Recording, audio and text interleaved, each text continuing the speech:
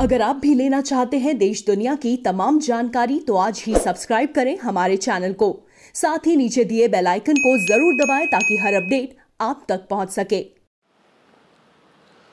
मध्य प्रदेश में उपचुनाव की तैयारियाँ जोरों शोरों से चल रही हैं। इसी कड़ी में पूर्व मुख्यमंत्री कमलनाथ को लेकर जिस प्रकार से शिवराज सरकार बार बार ये आरोप लगा रही थी कि उनके स्वास्थ्य के चलते वो मध्य प्रदेश में ध्यान नहीं दे रहे हैं वहीं इस पर पलटवार करते हुए पूर्व मुख्यमंत्री कमलनाथ का एक बयान सामने आया है। दरअसल, कमलनाथ ने शिवराज सिंह चौहान को एक चैलेंज दिया है और कहा है कि आप एक बार मेरे साथ ज़मीन पर उतरें और आपको जिस प्रकार की रेस मेरे साथ लड़नी है, वो आप मेरे साथ करें। वहीं कमलनाथ के बंगले पे हो रही उपचुनाव की बैठक के बाद पूर्व मंत्री सज्जन सिंह वर्मा ने बैठक की तमाम जानकारियाँ दी हैं। इन दोनों विषयों को लेकर बीजेपी ने जोरदार पलटवार किया है। स्वास्थ्य के बारे में बहुत बातचीत करी। शिवराज सिंह जी कहते हैं, कमलनाथ बीमार है, कमलनाथ बूढ़ा बूढ़े हैं। शिवराज जी, कैसी रेस लड़ दी आपको मेरे से? हाँ मैं गया था। मैं विदेश गया था पोस्ट कोविड फिर चेकअप के लिए। क्योंकि मेरे लंग्स में मेमोरिया हो गया। ये तो किसी को भी हो सकता है। पूरा चेकअप कराया। सिर से लेके कि दिमाग तो नहीं खराब हो रहा। हाँ। सब कुछ चेकअप कराया। और सब कुछ ठीक निकला। कहा कि लंग का इंफेक्शन ये लंबा कोविड होता है। एक कोविड छोटा कोविड होता है, एक कोविड लंबा कोविड होता है लॉन्ग कोविड ये लॉन्ग से मैं परेशान रहता हम लोग तो वसुधैव कुटुंबकम की कल्पना में विश्वास रखते हैं। कमलनाथ जी तो अपने घर के हैं, परिवार के हैं। मैं भगवान से प्रार्थना करता हूँ, वो स्वस्थ रहें और मैं तो कहता हूँ, और ज़्यादा स्वस्थ रहें और मध्य प्रदेश के अंदर दौड़ें, ये अच्छी बात है। इसलिए और जहाँ तक रेस की बात है तो रेस के मामले में तो कांग्रेस के अंदर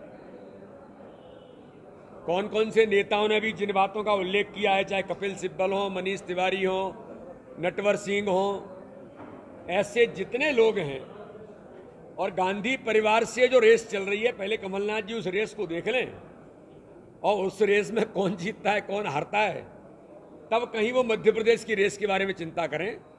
भारतीय जनता पार्टी तो स्वस्थ रेस के मैदान में रहती है, हम अपने विचारों पर, अपने काम के आधार पर अपने संगठन तंत्र के आधार पर और अपने सात्विक विचारों के आधार पर गरीब कल्याण की योजनाओं पर मैदान में हैं।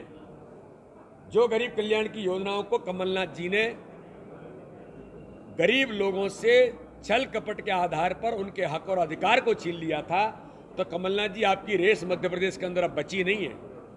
पहले आप जो केंद्र में आपके नेताओं की गांधी परिवार से रेस चल रही है। पहले उसके बारे में चिंता कर लो, उसके बाद में भारतीय जनता पार्टी के बारे में सोचना देखिए, कमलनाथ जी कई तरह की रेस लगाते हैं। वो जो रेस लगाते हैं, वो भारतीय जनता पार्टी के संस्कारों में नहीं है। इसलिए वो रेस अपने जैसी लगाते, वैसी लगाए भारतीय जनता पार्टी जनता के साथ काम करती है। और अब चूँकि चुनाव आ गए हैं तो स्वाभाविक रूप से कमलनाथ जी आ जाएँगे। इसके पहले वो कहाँ पे थे किसी को पता नहीं था। और अब चुनाव है तो आएँगे निश्चित रूप से। और कांग्रेस जो है वो एक कंपनी है। कंपनी जैसी पार्टी है ये। इसलिए इसमें अलग अलग व्यक्तियों के अपने अलग अलग कारपोरेटर होते हैं।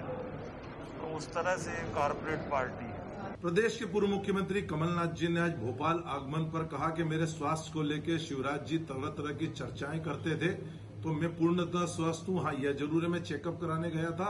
वो मेरे से कोई भी रेस लगाए, मैं रेस लगाने को तैयार हूँ। उन्होंने एक अच्छे अंदाज में बात कही, लेकिन प्रदेश के मंत्री भूपेन्द्र सिंह इसको गलत अंदाज में पेश कर रहे हैं। वो कह रहे हैं कि कांग्रेस के संस्कारों वाली रेस, हमको ऐसी रेस नहीं लगाना।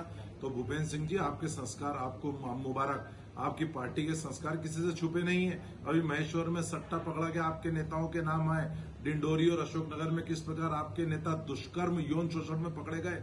तो आपके अपराधों के अंदर आपके पार्टी के मंडल अध्यक्ष कहते हैं कि आईएसओ को पीटते हैं हम, अधिकारियों को पीटते हैं। तो आपके संस्कार आपको मुबारक। आप तो ब्यूरो किसी को चप्पल उठाने वाले और उनकी औकात बताने वाले हैं। तो आपके इस तरह के संस्कारों की हमें रेस नहीं करना। आपके संस्कार जो है, आपराधिक संस्कार, दुष्कर्म वाले संस्कार, सट्टे वाले संस्कार, ब्लैकमेलिंग वाले संस्कार, मारपीट वाले संस्कार, ये आपको मुबारक। कमलनाथ जी के संस्कार तो विकास वाले हैं, किसानों की कर्ज माफ़ी वाले हैं, कन्या विवाह की राशि बढ़ाने वाले हैं, सामाजिक सुरक्षा, पेंशन की राशि बढ़ाने वाले हर वर्ग के साथ न्याय करने वाले ओबीसी वर्ग का आरक्षण बढ़ाने वाले इस तरह के हमारे विचार हैं, इस तरह की विचारों की हम रेस करते हैं और इस तरह की रेस के लिए आप सदैव आमंत्रित है। लेकिन जो आपकी पार्टी के संस्कार, जो सरकार आने के बाद लगातार सामने आ रहे हैं, उस तरह के संस्कारों से हमें कोई रेस नहीं करना। और आप कह रहे हैं, कमलनाथ जी कहाँ थे? अरे, कमलनाथ जी ने तो स्पष्ट किया कि मैं चेकअप कराने गया था क्योंकि मेरे को पोस्ट कोविड था। और मेरे को उसकी परेशानी हो रही थी और मैं चेकअप कराने गया, पूरी तरह से ठीक निकला।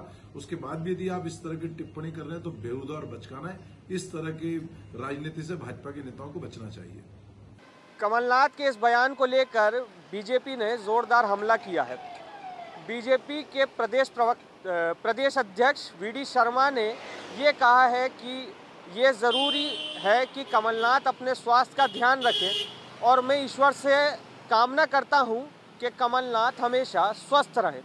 लेकिन वी डी शर्मा ने ये भी कहा है कि ज़मीन पे ये समझ में आता है कि कांग्रेस कहाँ पर है। प्रभा साक्षी के लिए मैं सुयश भट्ट, भोपाल।